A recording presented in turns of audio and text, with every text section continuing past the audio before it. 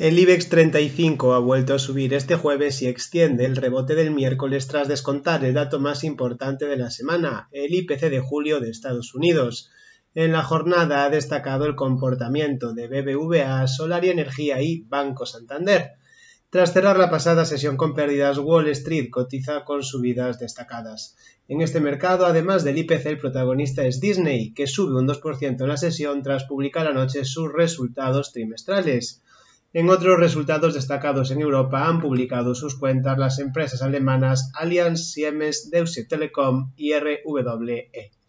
En España, Santander y BBVA han avanzado posiciones después de que los expertos de Bankinter hayan elevado la valoración de los dos grandes bancos españoles.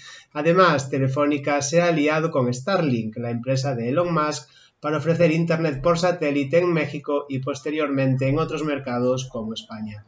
En Asia, las bolsas han cerrado mixtas con ganancias para el Nikkei japonés y ventas moderadas para el Kopsi de Corea del Sur.